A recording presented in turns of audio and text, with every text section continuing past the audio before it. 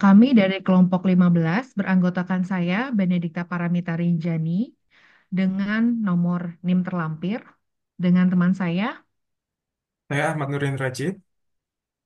ya, kami akan mempresentasikan eh, untuk review jurnal dengan judul Service Innovation and Performance in Micro, Small, and Medium-Sized Organizations. Pada presentasi ini, jurnal yang eh, diberikan adalah eh, oleh penerbit European Journal of Business and Management Research dengan judul Service Innovation and Performance in Micro, Small, and Medium-Sized Organizations dengan penulis Dr. Todd Blumert, tahun terbit 11 Juli 2022.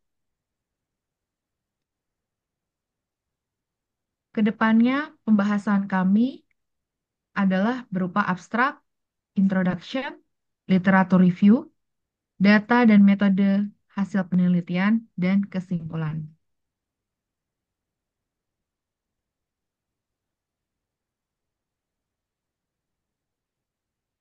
Abstrak pada jurnal ini, di mana inovasi layanan seperti menciptakan layanan baru atau meningkatkan layanan yang sudah ada sangat penting bagi keberlangsungan usaha mikro kecil dan menengah atau yang biasa kita sebut UMKM. Namun, kita belum mengetahui secara pasti seberapa besar pengaruh inovasi ini terhadap kesuksesan keseluruhan suatu UMKM. Biasanya, para peneliti menganggap semua UMKM itu sama dan menggabungkannya dalam satu kelompok untuk dipelajari. Padahal setiap UMKM itu unik dan memiliki karakteristik yang berbeda-beda. Akibatnya, kita jadi tidak melihat perbedaan-perbedaan penting yang sebenarnya terjadi. Penelitian ini bertujuan untuk mengungkapkan hubungan antara inovasi layanan dan keberhasilan UMKM secara lebih mendalam. Selain itu, kita juga ingin mengetahui apakah ukuran perusahaan, usia perusahaan, dan jenis pelanggan yang berbeda-beda mempengaruhi seberapa besar pengaruh inovasi layanan ini. Untuk menjawab pertanyaan-pertanyaan tersebut, jurnal ini menganalisis data dari 802 UMKM di Irlandia. Jurnal ini menggunakan metode analisis statistik yang canggih bernama PLSSM EM untuk mengungkapkan hubungan yang kompleks antara berbagai faktor yang mempengaruhi keberhasilan UMKM.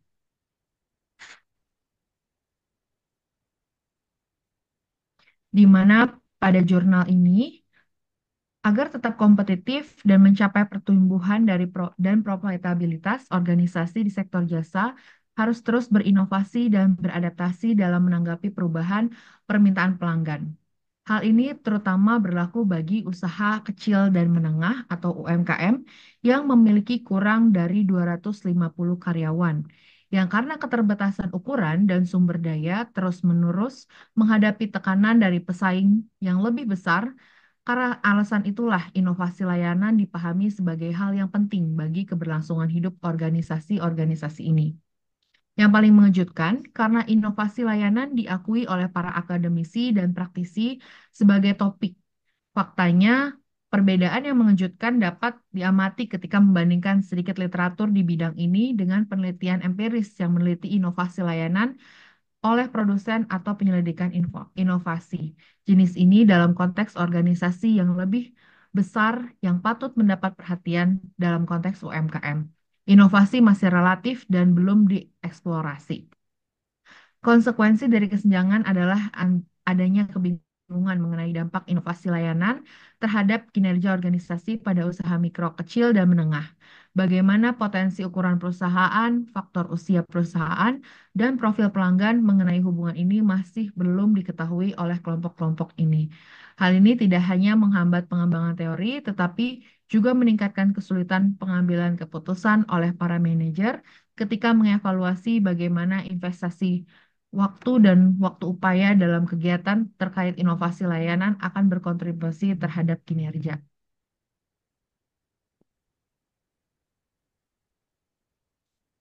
Berikutnya adalah hasil review kami terhadap uh, jurnal tersebut, di mana Inovasi layanan sangat penting bagi keberlangsungan kesejahteraan usaha mikro kecil dan menengah. Besarnya hubungan antara kinerja inovasi layanan dan kinerja organisasi dirangkum eh, dan juga sudah ada penelitian sebelumnya eh, yaitu sebagai berikut. Di sini kami coba merangkum ada lima penelitian sebelumnya terkait eh, kinerja inovasi layanan dan juga kinerja organisasi. Selanjutnya, pada jurnal ini terdapat empat hipotesis dan dapat dilihat pada gambar, di mana hipotesis pertama eh, menguji kin- eh, variabel kinerja inovasi layanan berpengaruh positif terhadap kinerja UMKM. Hipotesisnya eh, variabel service innovation performance eh, dengan organizational performance. Hal ini juga eh, cukup masuk akal untuk menganggap bahwa berbagai faktor kontekstual mempengaruhi kekuatan hubungan antara kinerja inovasi layanan dan kinerja organisasi. Menurut Chen et al. 2016 dan Feng et al. 2020. Oleh karena itu, meskipun hubungan antara SIP dan OP mungkin kuat untuk usaha mikro kecil dan menengah, tidak jelas apakah kekuatan hubungan ini sama di berbagai ukuran perusahaan. Jadi, meskipun dianggap eh, kinerja inovasi layanan berpengaruh positif terhadap kinerja UMKM, terdapat berbagai eh, faktor lain juga yang mungkin belum di diperdalam eh, dalam pengujian hipotesis satu ini sehingga belum diketahui secara pasti seperti itu. Apakah hubungannya memang positif apabila terdapat faktor-faktor lainnya? Menurut para ahli eh, yang ada di dalam jurnal tersebut. Lalu juga menurut McDermott eh, dan Prayogo di tahun 2012, posisi yang berlawanan berpendapat bahwa karena lapisan organisasi yang terlibat dalam kegiatan inovatif organisasi yang lebih kecil, lebih sedikit, mereka lebih fleksibel dan gesit, serta mampu dengan cepat beradaptasi dan mempengaruhi perubahan melalui inovasi. Lalu pada hipotesis kedua, di mana menguji eh, variabel terdapat hubungan positif yang lebih kuat antara kinerja inovasi layanan dan kinerja organisasi untuk organisasi berukuran menengah dibandingkan dengan organisasi mikro atau kecil. Jadi H2 menguji Service Innovation Performance dan Organizational Performance berdasarkan firm size-nya atau ukuran eh, perusahaan. Di mana para pakar menyatakan bahwa seperti yang telah diteliti sebelumnya, perusahaan yang sudah lama beroperasi cenderung lebih sukses dalam melakukan inovasi layanan dibandingkan perusahaan yang baru berdiri. Oleh karena itu, dapat disimpulkan bahwa dampak kinerja inovasi layanan terhadap kinerja organisasi mungkin dipengaruhi oleh usia perusahaan layanan menjelaskan pentingnya informasi pasar dalam menghasilkan ide-ide inovatif dan percaya bahwa perusahaan yang lebih tua memiliki keunggulan dibandingkan perusahaan yang lebih muda karena pengalaman mereka dalam memilih dan menggunakan informasi yang berguna dari pelanggan, pemasok, atau pihak terkait lainnya.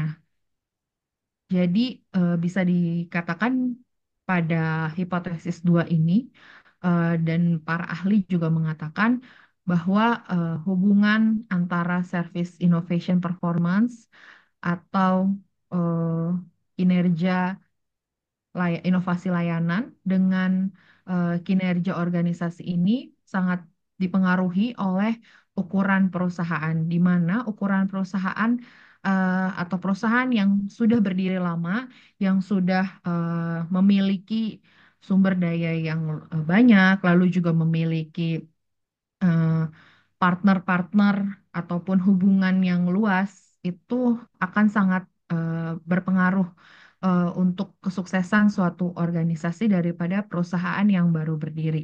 Untuk membuat suatu inovasi ataupun terutama di perusahaan jasa, perusahaan yang eh, memberikan layanan kepada customer, eh, pastinya sangat membutuhkan eh, sumber daya yang banyak. Selain itu juga kepercayaan daripada eh, para partner eh, untuk membantu dan mengembangkan inovasi tersebut. Lalu pada hipotesis ketiga, menguji di mana usia perusahaan memperkuat pengaruh positif kinerja inovasi layanan terhadap kinerja on- organisasi. Di sini eh, di mana perusahaan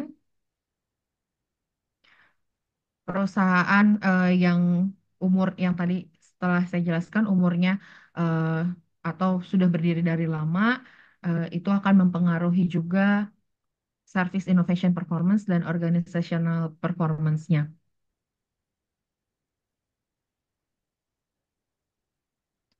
Lalu hipotesis 4 di mana terdapat hubungan positif yang lebih kuat antara kinerja inovasi layanan dan kinerja organisasi pada organisasi B2B dibandingkan dengan organisasi yang diklasifikasikan sebagai B2C atau lainnya.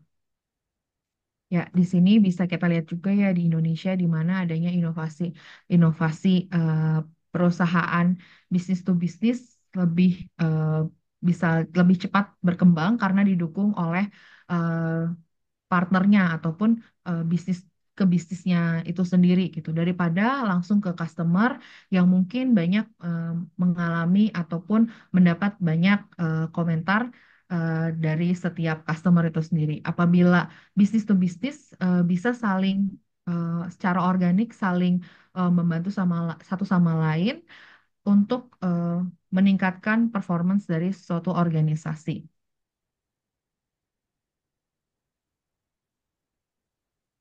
Berikutnya, silakan oleh Mas Ahmad. Hmm, Baik, terima kasih. Selanjutnya saya akan menjelaskan terkait data dan metode yang digunakan oleh penelitian ini. Yang pertama ada populasi. Di UMKM layanan di Irlandia memenuhi kriteria satu dengan organisasi tersebut merupakan layanan nirlaba atau bisa disebut jasa yang memiliki antara satu sampai 249 karyawan dan omset tahunan melebihi 50 juta euro. Informan adalah perwakilan organisasi mana pun yang memiliki pengetahuan tentang aktivitas inovasi layanan dan kinerjanya. Dan yang kedua ada pengumpulan data. Yang pertama menggunakan kuesioner yang telah diuji coba, dan yang kedua di, data dikumpulkan dari 19.892 organisasi melalui email, dan yang ketiga ada alat yang digunakan menggunakan survei Monkey.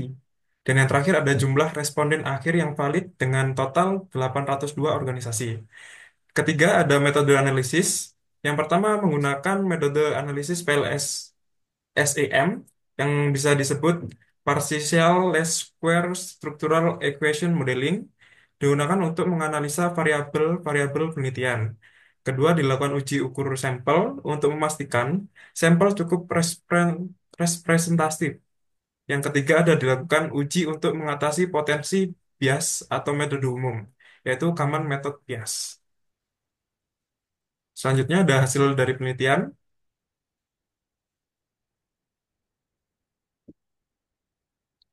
Baik, terima kasih. Yang pertama ada pendekatan dari heteroid motoid HTMT di tabel pertama.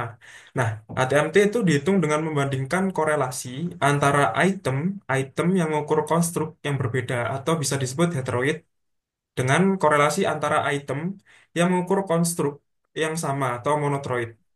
Nah, di sini bisa kita lihat eh, skor reliabilitas atau komposit minimum melebihi ambang batas yang direkomendasikan yaitu sebesar 0,7 interval.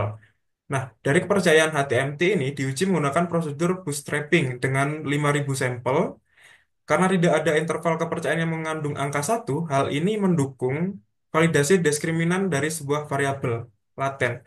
Kemudian digunakanlah untuk uji coba validitas diskriminasi digunakan untuk menguji variabel laten dan selanjutnya ada korelasi yang dibangun untuk masing-masing kelompok berada di bawah ambang konservatif yaitu 0,85. Bisa dilihat di tabel ratio of correlation di bagian seb- eh, 2,50% dan 97,50%. Nah, dilanjutkan di tabel 2 eh, ada valuasi, valuasi kualitas model struktur PLS.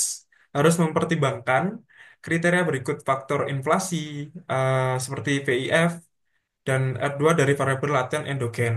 PLS predik eh, atau Q2 eh, dan arah sertifikat signifikasi koefisien jalur dengan nilai V VIF di bawah 2 untuk masing-masing kelompok menunjukkan bahwa tidak ada masalah kolenerialitas atas konstruksi model.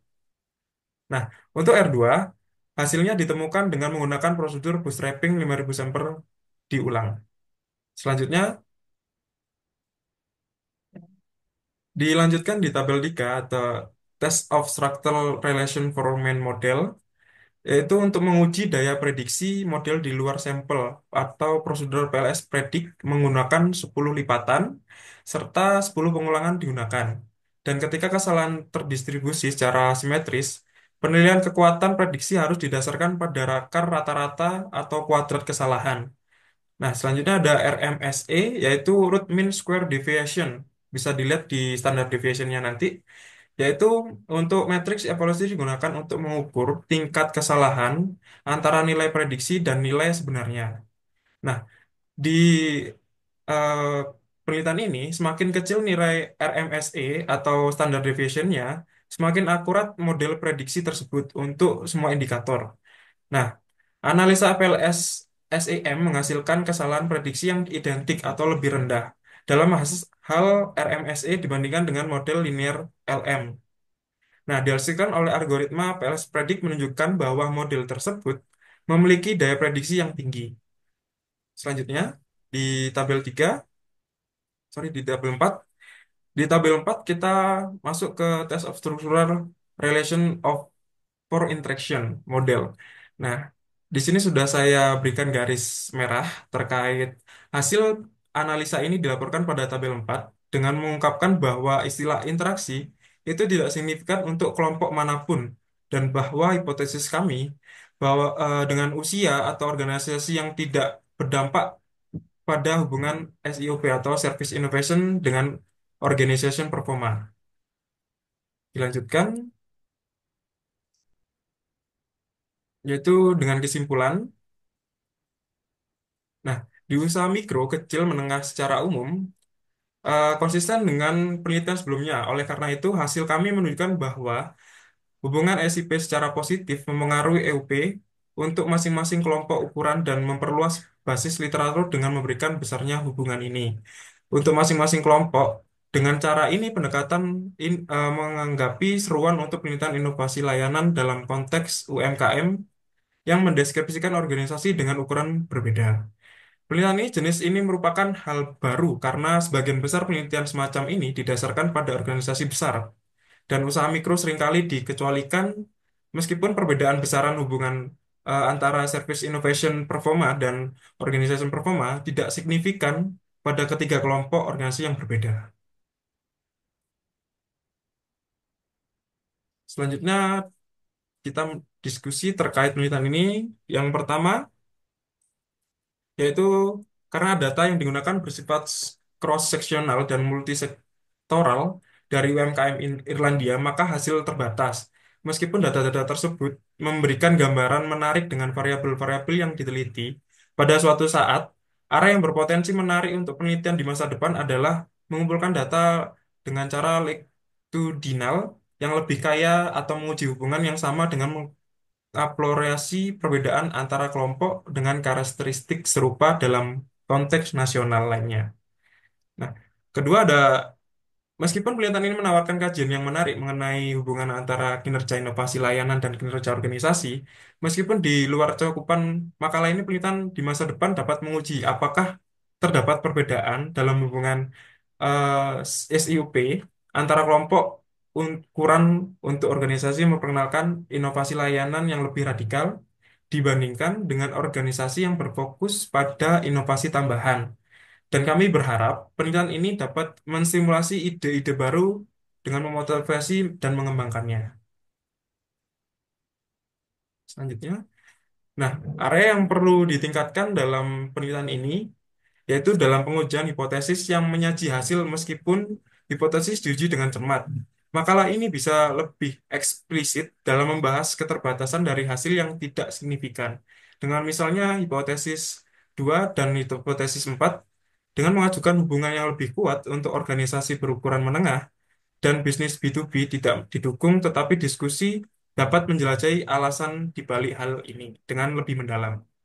Yang kedua ada diskusi dampak usia perusahaan, yaitu hipotesis tiga menyatakan bahwa organisasi yang lebih tua akan memiliki hubungan SIP dengan OOP atau Organisasi Performance yang lebih kuat karena pengalaman dan sumber daya yang terkumulasi meskipun hipotesis ini tidak didukung makalah.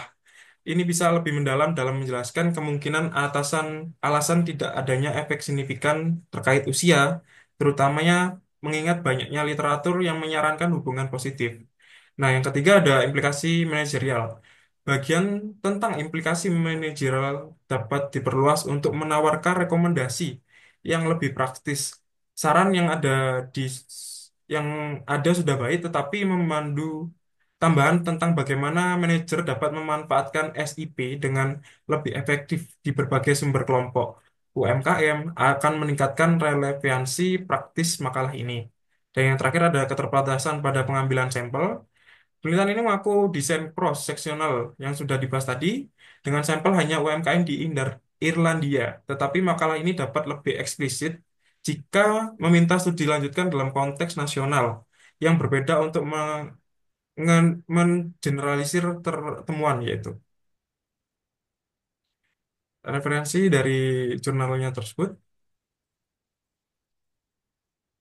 Baik, terima kasih dari kelompok kami, kelompok 15. Jika ada salah kata, mohon maaf. Terima kasih. Wassalamualaikum warahmatullahi wabarakatuh.